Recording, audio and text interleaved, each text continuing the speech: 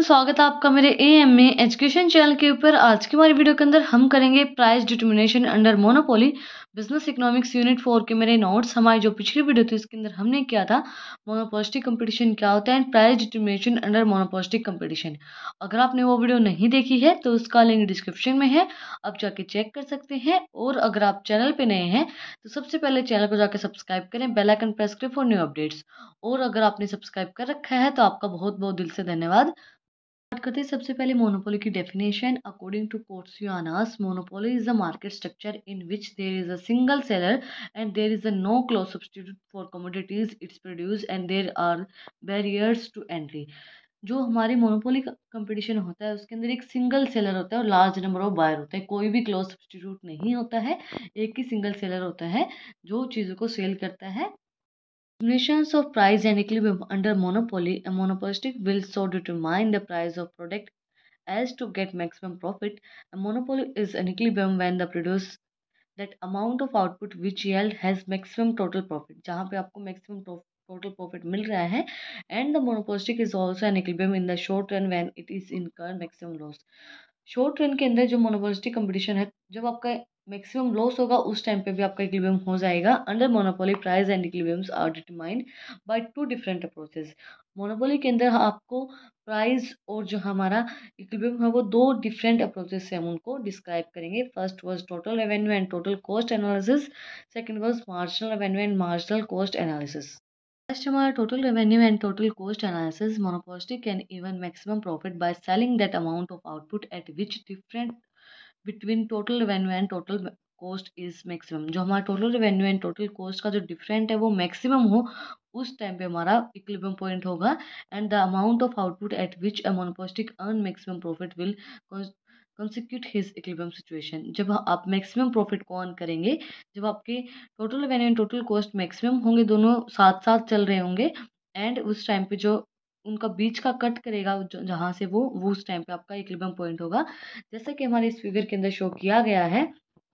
यहाँ पे जब हमारी total revenue and total cost maximum है दोनों ही इक्वली चल रही हैं डिफरेंट जो इनका वो सेम है आउटपुट का एंड जो हमारा इनका बीच का जो पॉइंट है वो इसको हम बोलेंगे पॉइंट ऑफ इक्लिबियम यहाँ पे हमारा इक्लिबियम शो कर रहा है जहाँ पे ये दोनों एक जैसी हैं सेम है कॉन्स्टेंट है सेकेंड वो इस marginal revenue and marginal cost analysis in a case of monopoly one can know about price determination और equilibrium position with the help of marginal revenue and marginal cost analysis हम इसको marginal revenue and marginal cost analysis के help से इसको study कर सकते हैं जब हमारी एम आर इक्वल होगी एम सी के उस टाइम पे हमारा पॉइंट ऑफ इक्लिबियम होगा and M C cuts to M R and M R curves from below M R जो है वो कर्व वो उससे बिलो है ए आर से हमेशा बिलो ही रहेगा and monopolistic earns maximum profit when it is he is an equilibrium जब वो इक्लिबियम पॉइंट पे होगा तब वो मैक्सिमम प्रॉफिट कौन करेगा It is explained with the help of figure. In this figure, output is shown in o axis and cost revenue and y-axis. MC is marginal cost and AR and MR are average revenue and marginal revenue curves short run जो होता है हमारा वो उन लोगों मतलब उसके अंदर हम टाइम जो होता है वो चेंज नहीं हो सकता वो फिक्स्ड फैक्टर होता है जैसे कि हमारी मशीनरीज प्लांट होती हैं मोनोपोस्टिक इज एन इक्विबियम में face many three situations in their short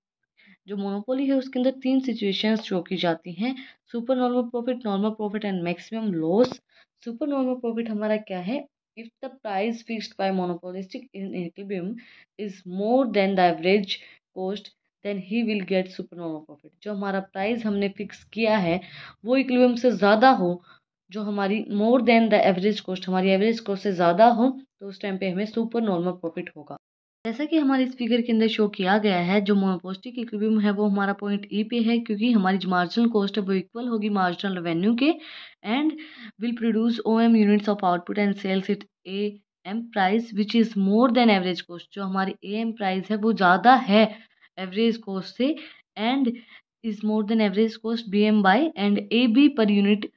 in the situation the total super normal profit was हमारा टोटल सुपर नॉर्मल प्रॉफिट क्या होगा ए बी सी डी जो हमारा है ये जो शेडिड एरिया है इसको हम सुपर नॉर्मल प्रॉफिट बोलेंगे क्योंकि इस टाइम पे हमारी जो क्या है मोर देन एवरेज कोस्ट जो हमारा इक्लिबियम है इक्लिबियम जो है हमारा वो ज़्यादा है एवरेज कोस्ट से तो उस टाइम पे हमें सुपर नॉर्मल प्रॉफिट होगा हम किस तरीके से लिख सकते हैं in this figure the monopoly is an equilibrium at a point E because at a the point Marginal cost is equals to marginal revenue. The monopolistic will be produce OM units of output and sells it at a AM price which is more than average cost and BM by AP per units Thus, it is in situations of total super normal profit of the monopoly will be ABCD. super normal profit क्या होगा ABCD jo hamara ceded area hai wo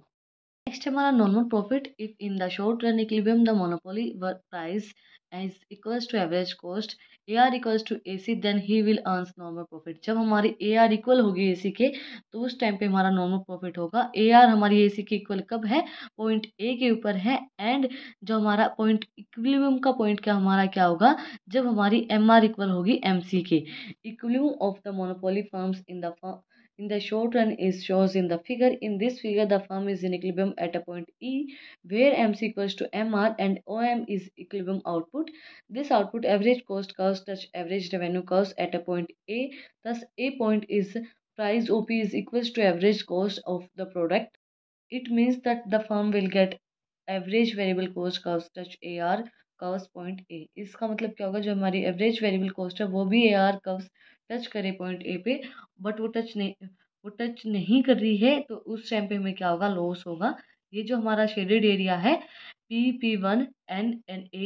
इस area को बोलेंगे हम maximum loss ये हमें loss हो रहा है लास्ट बट नॉट लिस्ट हमारा price determination under long periods और long run equilibrium Long run equilibrium of a monopoly is explained with the help of figure. Point E indicates the equilibrium of monopolistic at a point E. MR equals to MC MR हमारी equal है MCK and hence OM is equilibrium output and ON is equilibrium price. BM is long run average cost price, AM being more than long run average cost. BM the monopolistic will be get short supernormal profit. Accordingly, the monopolistic earns supernormal profit per unit. His total supernormal profit will be A, B, P, and as shown in the shaded area. इसके अंदर क्या बोला गया है जो हमारे super normal profit कब होगा जो हमारा शेडेड एरिया है ए बी पी एन जो है हमारा ये हमारा सुपर नॉर्मल प्रॉफिट है जिस टाइम पे क्या होगा हमारा जब हमारी B M A M equal होगी हमारी बी एम के उस टाइम पे हमें सुपर नॉर्मल प्रॉफिट होगा ए एम बी एम के इक्वल होगी उस टाइम पे हमें सुपर नॉर्मल प्रॉफिट है एंड ये हमारा शेडेड एरिया को हम सुपर नॉर्मल प्रॉफिट बोलेंगे इसी के साथ आज का हमारा जो टॉपिक था वो कंप्लीट हो गया है मोनोपोली क्या होता है प्राइस डिटर्मिनेशन अंडर मोनोपोली अगर आपको आज की वीडियो पसंद आई तो आप लोगों को पता ही क्या करना है कमेंट सेक्शन में जो बताना है कि आपको वीडियो कैसी लगी कोई भी डाउट है तो वो भी आप लोग कमेंट सेक्शन में मुझसे पूछ सकते हैं और अगर आप कोई नोट्स की पी चाहिए तो टेलीग्राम चैनल का लिंक भी डिस्क्रिप्शन में आप उसको भी जाकर सब्सक्राइब कर सकते हैं फिर मिलते एक नई वीडियो के साथ एक नए टॉपिक के साथ thank you for watching my video